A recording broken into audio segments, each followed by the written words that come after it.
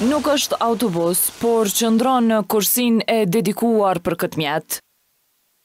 Të tilla automjete nuk respektojnë as lokacion e as orar për të kryer furnizimet në dyqanet në kryeqytet.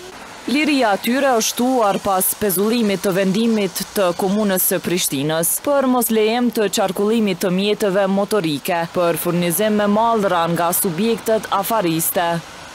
Kjo situatë nuk po i gëzon qytetarët, përkundrazi ata shprehin revoltë dhe duan që furnitorët t'i nënshtrohen orarit të vjetër për furnizim.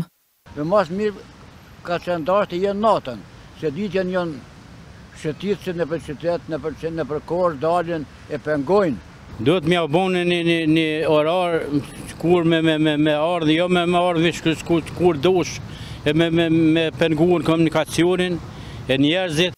Lejimi për qarkullim i furnitorëve edhe nga qytetarë të tjerë po konsiderohet e papranueshme pasi po ju pamundësohet lëvizja e lirë. Natën duhet me furnizu këta. Për me pas ma shumë letësime edhe për kolona edhe për qytetarë. Hajt kah po kalon qëta për shembull nëpër trotuar, që qëllën dikush me karrocë. E vendimin që Komuna e Prishtinës e kishte marrë që dy vite, e që filloi implementimin nga kjo e hënë, solli shumë gjoba për vozitësit e automjeteve transportuese të mallrave nga Inspektorati i Komunës. Prandaj, ankesat e tyre për gjoba e orar po shihen sfiduese edhe nga dhomat e tregtisë dhe industrisë së Kosovës. Është shumë e vështirë që të bëhet furnizimi i të gjitha pikave, me mallra dhe të përmbushen nevojat e kryeqytetit gjatë këtij termini kohor. Për këtë arsye, këta kërkuan nga komuna që ky vendim të pezullohet për dhjetë ditë, deri në një orar të përshtatshëm për ta.